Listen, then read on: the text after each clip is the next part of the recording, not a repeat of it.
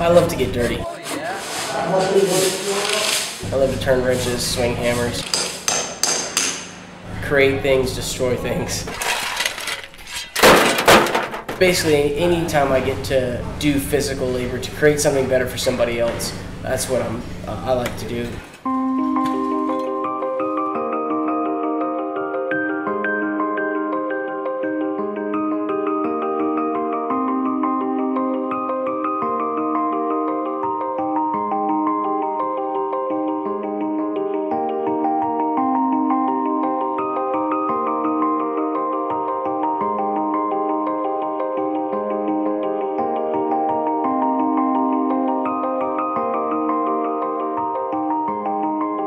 This place was pretty much torn up.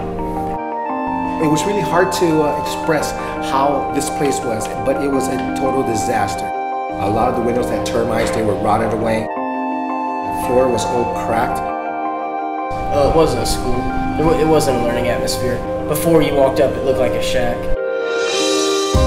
It was barely three walls, and there wasn't a roof on it. The, the thing that was on top wasn't considered a roof. The desks and tables and chairs, were just all just piled up, like they didn't want to use them. There's a whole bunch of hazards everywhere, broken glass everywhere. We went in, we repaired it, created a ventilation system, replaced the roof, replaced the windows, replaced all the doors. Uh, so now there's a sense of security at the school instead of just being out in the open, can actually feel comfortable. Now it's a structure. It's going to be here for decades and decades, and you feel proud of the work because you didn't take any shortcuts. You put in long 12-hour days, and until dusk till dawn you're working, and it pays off. It, it's a big reward just to see the finished product.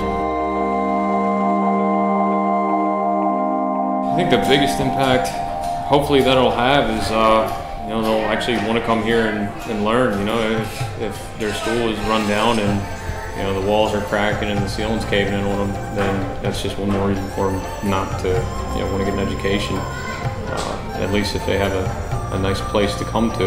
You know, I think it, that's probably the biggest thing that helped this country get on its feet is you know, get a solid foundation for education. The locals here in Timor it is extremely evident that they like and appreciate what we're doing. Uh, every day when we're done working, they come by and they take up all the trash and pick up all the debris and help us clean everything up. Even the kids that are, you know, five, six years old are, are willing to pick up a paintbrush and start painting the building because they understand that what we're doing is for them. Uh, I can't tell you how many times I've had people come up and hug my leg and, and say thank you and Mr. Mister, thank you, thank you these people are extremely grateful for everything that they have and everything they get, down to a bottle of water. And I mean, extremely poor living conditions, but they make the best out of it every day. They're always happy playing sports.